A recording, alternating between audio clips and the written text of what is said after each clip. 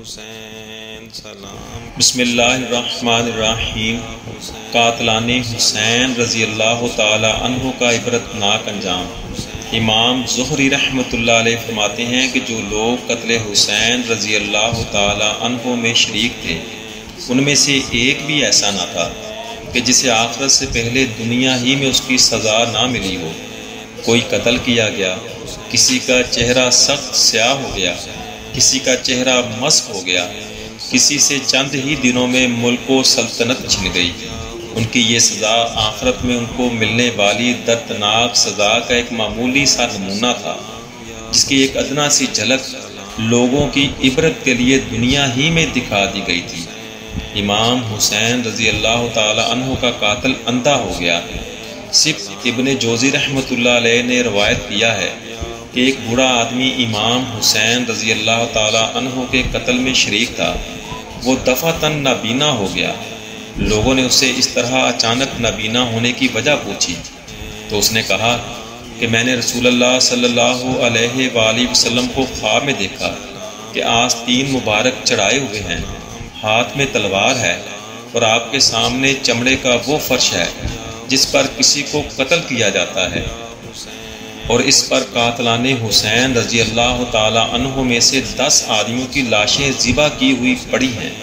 उसके बाद आपने मुझे डांटा और पुणे हुसैन रज़ी अल्लाह तहों की एक सलाई मेरी आँखों में लगाई। अब जब सुबह मैं अपनी नींद से उठा तो अंधा हो चुका था। इमाम हुसैन रज़ी अल्लाह तहों के कातल का मुँह काला हो गया। इमाम इबन जोजी रहमत ने यह भी नकल किया है कि जिस शख्स ने इमाम हुसैन रज़ी अल्लाह तहों के सर मुबारक को अपने घोड़े की गर्दन में लटकाया था, उसके बाद उसे देखा गया कि उसका मुँह तार कोल की तरह स्याह हो गया। लोगों ने उससे दरियाफ्त किया कि तू तो सारे अरब में खुश रो आदमी था, तुझे क्या हो गया? उसने कहा कि जिस रोज़ से मैंने इमाम हुसैन रज़ी अल्लाह तहों का सर अपने घोड़े की गर्दन में लटकाया है, जब ज़रा सोता हूँ तो दो आदमी मेरे बाजू पकड़ते हैं और मुझे एक दहकती हुई आग में ले जाकर डाल देते हैं और वो मुझे जुलस देती है। चंद दिन बाद वो भी इसी हालत में मर गया। इमाम हुसैन रज़ी अल्लाह तहों का कातल आग में जल गया। इमाम इबन जोजी रहमत ने सुद्दी रहमत से नकल किया है कि उन्होंने एक शख्स की दावत की। मजलस दावत में ये ज़िक्र छिड़ पड़ा।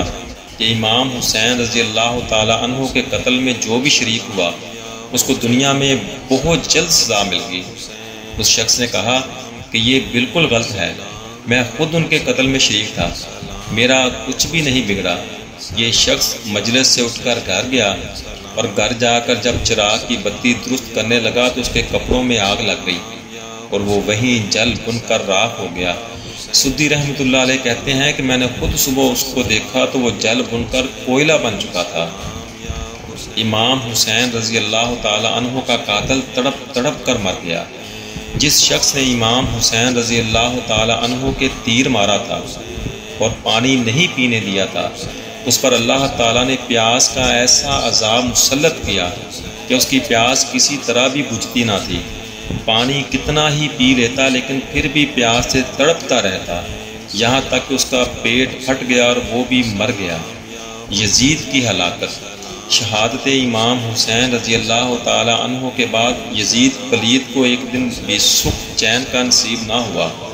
उधर दूसरी तरफ़ तमाम इस्लामी ममालक में शहदाय अहल बैत के खून ने शदीद मुतालबा पकड़ा और बगावतें शुरू हो गईं। शहादत इमाम हुसैन रज़ी अल्लाह तहों के बाद यजीद की ज़िंदगी तकरीबन दो साल, आठ माह और एक रवायत के मुताबिक तीन साल और आठ माह रही। दुनिया ही में अल्लाह ताला ने उसको जलीलो ख़ार किया और इसी ज़िल्त खारी की हालत में वो हलाक हो गया। लानत बर यजीद, लानत बर यजीद, लानत बर यजीद।